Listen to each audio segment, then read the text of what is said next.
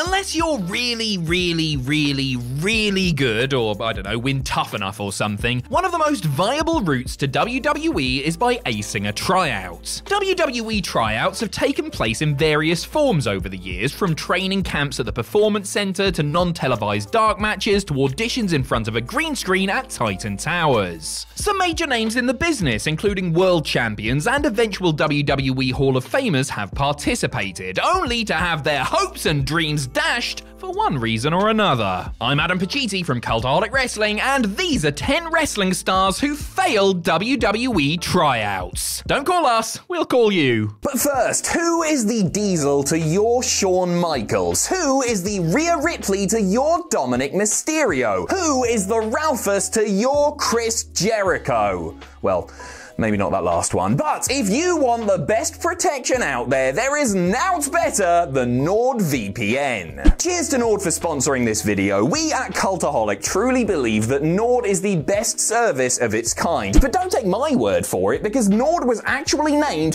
one of Time Magazine's 2022 best inventions. Gonna argue with Time, are ya? So here is how I use Nord. Obviously, I live in the United Kingdom, but with NordVPN, I can set myself to be anywhere in the world virtually and access content from those regions. So this means if I fancied it, I could set myself to be somewhere in the world virtually and sign up for a certain sports entertainment network for a fraction of the price. Or if I happen to live in the United States, I could sign up for that sports entertainment network even though it doesn't properly exist as it did in the United States before. All of the suplexes, pile drivers, and hurricanranas you could want for a fraction of the price. Oh, and it works for plenty of other on demand services too. There is even a 30 day money back guarantee, so if Nord isn't for you, you can get your money back, no bother at all. So grab your exclusive NordVPN deal by going to nordvpn.com forward slash cultaholic, link in the description below, to get a huge discount off your NordVPN plan, plus four additional months free. It's completely risk free with Nord's 30 day money back guarantee.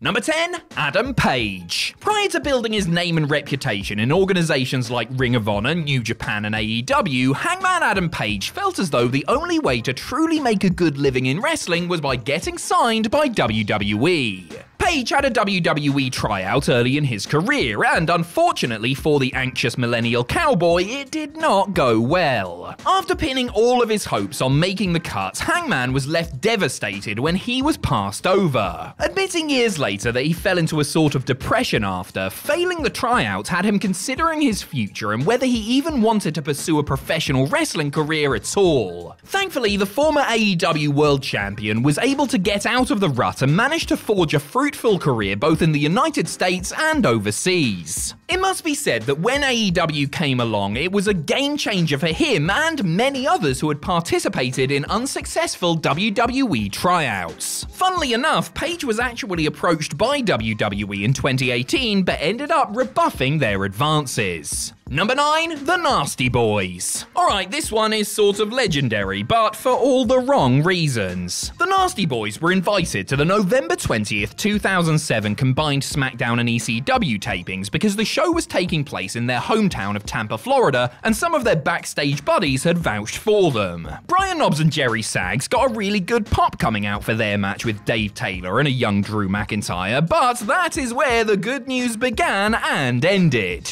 The Nasties, who who hadn't really tagged regularly since Sags left WCW in early 97, were massively overweight and worked excessively stiff with their opponents. They also played to the crowd too much and wouldn't leave the ring when instructed, infuriating WWE officials who needed to make sure that everything ran on time. Needless to say, they didn't get offered contracts. Knobbs, for his part, claimed that the match was changed around three times during the course of the afternoon, blaming Taylor, who was also an agent at the time, for sabotaging it, and questioned why they even needed a tryout in the first place. I think we already covered that part, didn't we? Number 8, Diamond Dallas Page. Diamond Dallas Page famously started his career as a professional wrestler pretty late, making his in ring debut at the not so tender age of 35. Prior to lacing up his boots, however, he worked for several years as a manager and announcer for the AWA, Florida Championship Wrestling, and WCW. In 1990, Page made an appearance for WWE, driving the Rhythm and Blues tag team to the ring in his pink Cadillac at WrestleMania 6. What some people may not know is that DDP also had a tryout that year as a commentator. In some painfully awkward footage unearthed for the Hall of Famer's appearance on the Broken Skull sessions, the wildly over the top Page can be viewed doing everything in his power to animate a barely awake Lord Alfred Hayes. He didn't get the gig. The tryout was set up by Dusty Rhodes, who Dallas was good friends with. According to Page, Paul Heyman tried to smarten him up to any potential on camera ribs beforehand, so it wouldn't have been a shock when Bruce Pritchard instructed him to pull on his own ponytail. In a great irony, WWE's production chief, Kevin Dunn, offered DDP an announcing gig when he was forced to temporarily retire from wrestling in 2002, though this time Page turned them down. Bang! Number 7, The American Wolves. Remember when the American Wolves tag team of Davey Richards and Eddie Edwards as the American Pitbulls randomly showed up on an episode of NXT in the fall of 2013 and did a quick job for then tag team champions The Ascension? Well, there was more than meets the eye there, as their appearances were actually part of a one week tryout at the Performance Center. WWE were in the midst of a signing spree at the time, hoovering up a lot of the prime independent and international talent that was available. Per reports, Eddie was said to be the star of the tryout, which was also attended by other independent wrestlers, with Davey being the second most impressive. Not impressive enough for Paul Triple H Levesque, mind, as the duo weren't offered deals. The game reportedly ordered their match with the Ascension to go home early after Richards was accidentally dropped on his head, and when they didn't do so right away, it was considered a black mark against them. They had their supporters who vouched for them to get a chance, but Levesque remained unmoved, and the Wolves instead opted to try their luck in TNA. Number 6, Takako Inoue. Considered something of a sex symbol in her native Japan during the 90s, Takako Inoue was one of the major stars of the successful All Japan Women's Pro Wrestling promotion until leaving at the end of the decade. While working as a freelancer, Inoue was invited to have a WWE tryout prior to the May 17, 2004 Raw taping. Wrestling jazz in front of agents and other decision makers before fans were let into the building, the former AJW champion was described as being only okay. When she returned to Japan, she informed the press that John Laurinaitis told her that her wrestling was good, but that she needed to learn better English, so she was going to study and take classes to improve it. She also planned to go to Minnesota and train with Brad Rheingans, who trained Brock Lesnar and had connections in Japan, but it was all for now, as she wouldn't be signed. Her tryout match opponent, Jazz, later admitted to getting pissed off after Takako put her in an STF, Jazz's finisher at the time, and taking out her frustrations by tying the 15 year veteran in various shoot holds. Number 5, Jado and Gedo. In early 2007, there was something of an internal WWE push to sign some smaller international stars in order to try and recreate the mid 90s magic of WCW Nitro, as well as to outshine TNA and Wrestling Society X, who both promoted that style. Given that WWE put the Cruiserweight title on Hornswoggle that summer, you can see how that panned out. But it's the thought that counts, I suppose, and WWE at least took a look at some talents who otherwise wouldn't have been on their radar. For example, New Japan Pro Wrestling's Jado and Gedo, who received a tryout at the February 20th, 2007 SmackDown tapings in San Diego, California. What's interesting about this is that they were, at the time, the reigning IWGP Junior Heavyweight Tag Team Champions. Another thing that's interesting is that their opponents weren't named in any of the reports, with their appearance being described as secretive. A sole photo of them making their entrance for it appeared in a Japanese wrestling magazine, though seemingly no footage exists.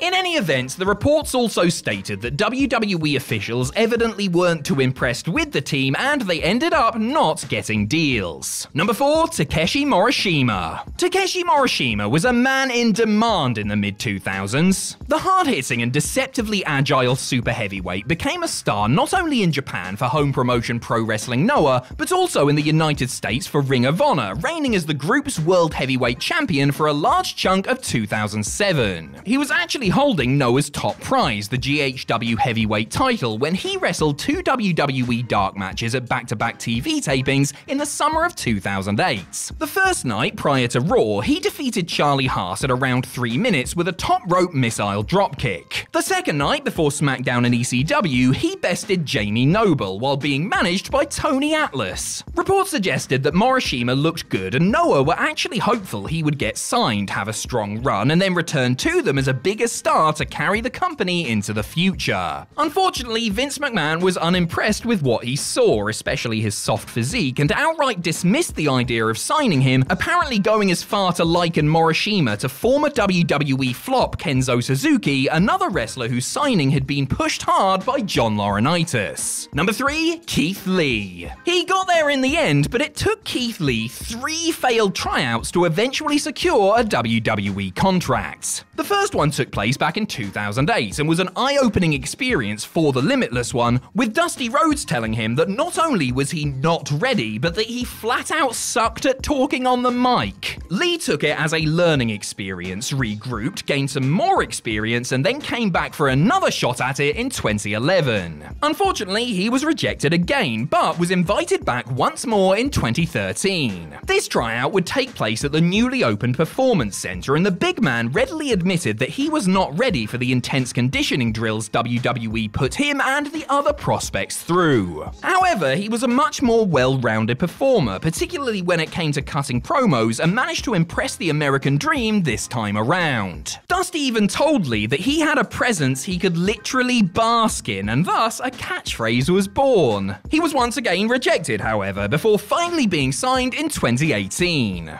Number 2, New Jack. It has long been rumoured that New Jack was considered as the would be culprit in the late 2004 Who Stabbed John Cena in a Nightclub storyline. It's still mad to think that's the sort of stuff Cena was involved in before he became a Dayglow merchandise machine. WWE ultimately gave the gig to our man Jesus, but decided to bring New Jack in for a look once the storyline had run its course. Invited to have a tryout slash dark match before the January 10th, 2004 Raw taping in Fort Lauderdale, the ultra-violent extremist had the dark match part nixed following an in-ring workout with Val Venis. New Jack, never one reputed for his actual wrestling ability, reportedly looked shoddy while grappling with the big Valbowski. You should have called for a toaster shot or a balcony dive, Val. According to the man himself, he also made the apparent mistake of introducing himself to Vince McMahon after road agent Dean Malenko had explicitly warned him not to. Once his name had been erased from the night's rundown, the former ECW Tag Team Champion got his money, left the arena, and went to a local bar,